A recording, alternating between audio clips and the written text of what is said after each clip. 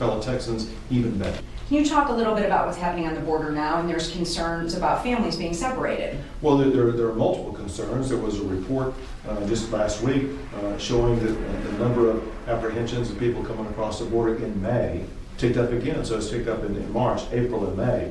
Uh, and, and so people need to, you know, awaken to the reality that the border is not secure.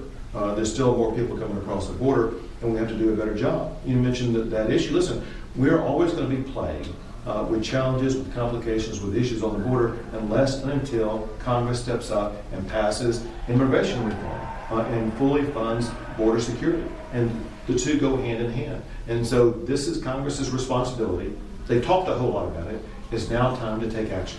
In the meantime, is it, with these families being separated, I mean, your reaction? Well, listen, this is, this is horrible, and, and uh, this rips everybody's heart apart about what's going on. And the, the, the president actually was talking about it this morning, that even he was ripped apart uh, about what's going on. And he was adamant, he said, listen, if the Democrats would agree with him right now, they could pass a law today that would end uh, the, the ripping apart of these families and make the border secure. So uh, the president and the Republicans uh, have an offer on the table. All the Democrats have to do is to take it, and this could end today.